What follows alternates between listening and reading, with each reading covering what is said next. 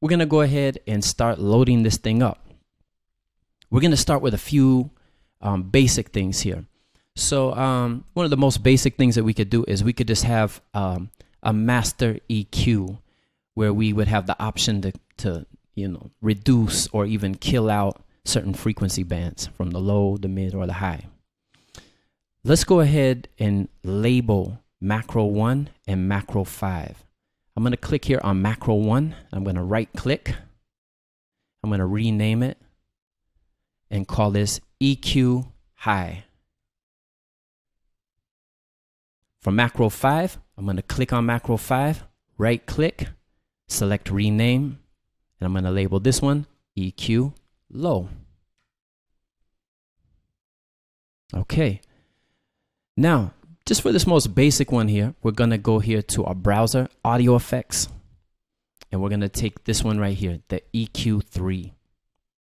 I'm to take it and drop and drag it inside our rack. And I'm to make sure that I drop it to the left of the limiter. Here it goes.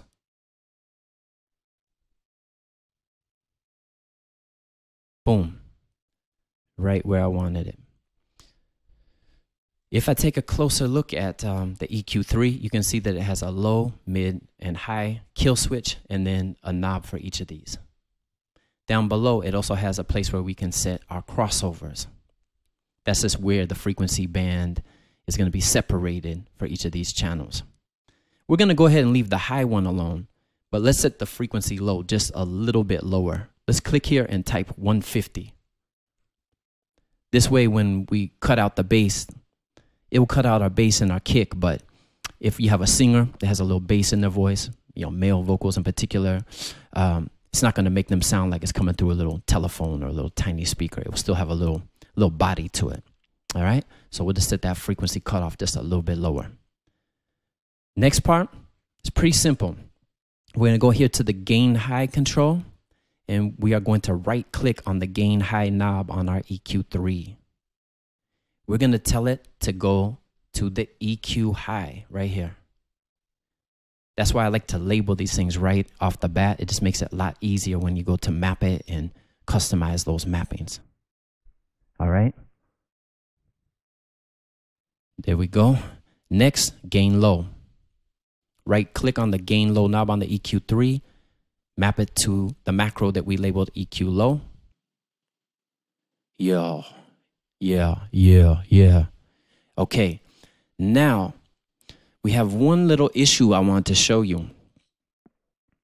If you look at the gain now, when I turn it all the way up, you can see that it now goes up to 6 dB.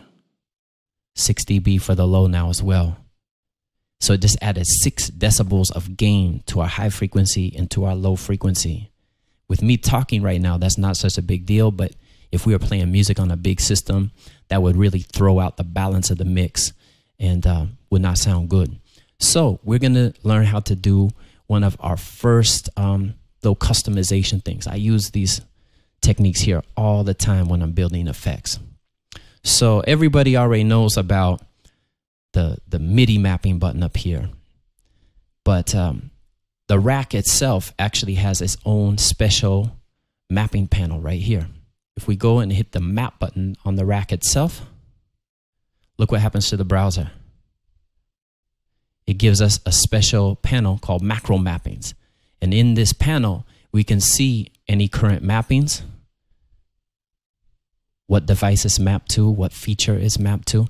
And then here we have a column that says minimum and maximum. If you can't see that column, sometimes you might have just pulled this little divider a little bit too far to the left. Just take your mouse and put it right on that divider. So you see that double arrow, left and right arrow, and then just drag a bit to your right and it will be revealed. Okay, we're going to be using this quite a bit. This feature here allows us to set minimum and maximum custom values if we need to. Now you can see that the minimum, when we turn the knob all the way counterclockwise, it goes to minus infinity dB, aka silence. the maximum though is adding 6 dB of gain for both our high and low channel.